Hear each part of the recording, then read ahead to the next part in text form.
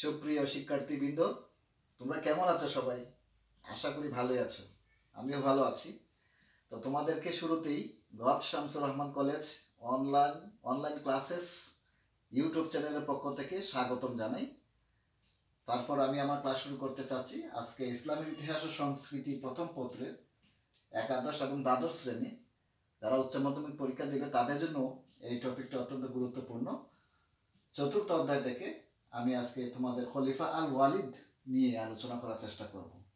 খুব interesting history ইসলামের ইতিহাসে অত্যন্ত উল্লেখযোগ্য একজন শাসক ছিলেন খলিফা আল ওয়ালিদ ওনার শাসনকালটা হচ্ছে সাতশো পাঁচ থেকে সাতশো পনেরো খ্রিস্টাব্দ পর্যন্ত। তো সুপ্রিয় শিক্ষার্থীবৃন্দ, আমি ওনার আলোচনাটাকে তোমাদের বোঝানোর স্বার্থে তিনটা ভাগে ভাগ করেছি। তোমরা লেখা দেখতে পাচ্ছ। তো তোমাদেরকে আরেকটা কথা বলে রাখি।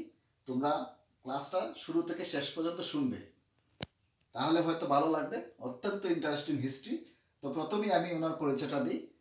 উনি হলেন খলিফা আব্দুল মালিকের জ্যেষ্ঠ পুত্র। উনি আব্দুল মালিক মারা যাওয়ার পরে উনি সিংহাসনে আরোহণ করেছিলেন সাতশো পাঁচ খ্রিস্টাব্দে। তো উনি ছিলেন সাম্রাজ্য বিস্তারের জন্য বিখ্যাত ইসলামের ইতিহাসে। সাম্রাজ্য বিস্তার আমি পরিচয় এবং সিংহাসন পর্ব সিংহাসন আরোহণ এর আলোচনা শেষে আমি সাম্রাজ্য বিস্তার নিয়ে আলোচনা করতে চাই।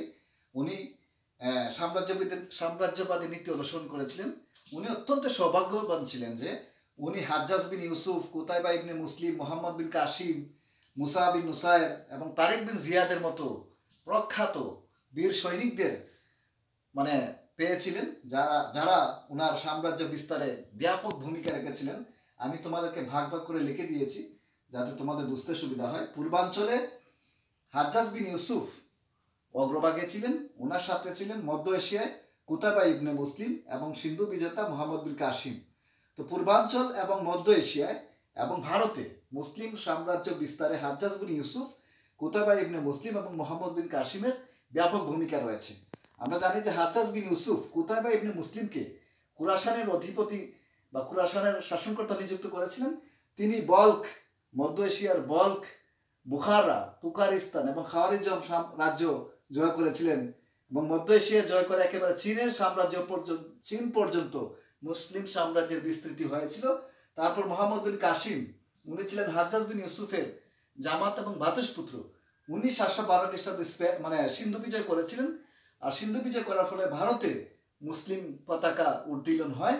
আমরা দেখতে পেয়েছি পূর্বাঞ্চলে এই তিনজন বীর সেনানী ব্যাপক ভূমিকা রেখেছিলেন। তারপর আমরা দেখতে পাই পশ্চিমাঞ্চলে, বিশেষ করে উত্তর আফ্রিকায়, মুসাবিন নুসায়ের ব্যাপক ভূমিকা রেখেছিলেন এবং উত্তর আফ্রিকা মিশরের আওতা থেকে একেবারে উত্তর আফ্রিকা পর্যন্ত উমাইয়া খেলাফতের সীমানা বিস্তৃত করেন।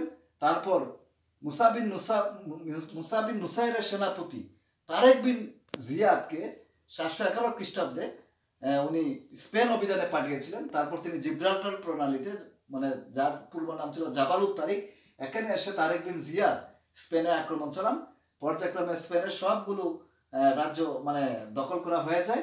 কিন্তু তারা যখন মুসা এবং তারেক পিরনিস পর্বতের, প্রিয় শিক্ষার্থী, অত্যন্ত গুরুত্বপূর্ণ।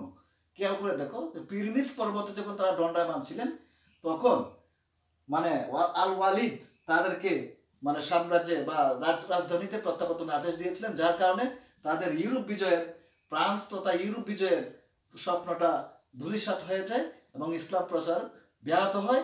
ঐতিহাসিকরা বলেছেন, যদি মুসা এবং তারেক ইউরোপ মানে ফ্রান্স এবং ইউরোপ বিজয়ে যে ভূমিকা রেখেছিলেন, তারা যদি রাজধানীতে না ফেরত যেতেন, তাহলে হয়তো বা ইউরোপের আজকে লন্ডন অথবা প্যারিসের গির্জার ঘণ্টার ঘণ্টা ধ্বনির পরিবর্তে আজানের ধ্বনি প্রতিধ্বনিত হতো। অত্যন্ত, দেখো গু- খুব ইন্টারেস্টিং হিস্ট্রি প্রিয় শিক্ষার্থীবৃন্দ। তো আমরা দেখতে পেয়েছ অত্যন্ত সংক্ষেপে আমি আলোচনা করতেছি যে উনি সাম্রাজ্য বিস্তারের জন্য বিখ্যাত ছিলেন, যার সাম্রাজ্যের সীমানা ছিল পূর্ব দিকে সিন্ধু এবং পশ্চিম দিকে আটলান্টিকের তীর পর্যন্ত বিস্তৃত ছিল। তিনি তিন মহাদেশের অধিপতি ছিলেন।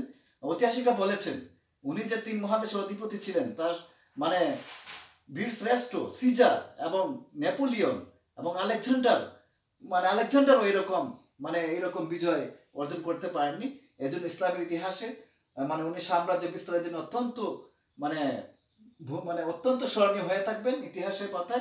তার নাম সম্মান করে লেখা রয়েছে এজন্য।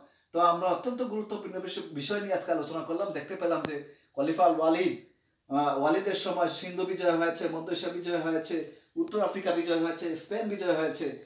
তো তোমরা এই বিষয়টা একটু ভালো করে পড়বে। এই বিষয়টা পরীক্ষার জন্য অত্যন্ত গুরুত্বপূর্ণ। এবং পরবর্তী প্রত্যেকটা ক্লাসে তোমার তোমাদের পার্টিসিপেশন পাবো আমরা। এটাই আশা করছি। আবারও তোমাদেরকে govt Shamsur Rahman college YouTube govt Shamsur Rahman college online classes YouTube চ্যানেলের পক্ষ থেকে শুভেচ্ছা জানিয়ে এবং ধন্যবাদ জানিয়ে আমি আমার ক্লাস শেষ করছি। আল্লাহ হাফেজ। ধন্যবাদ।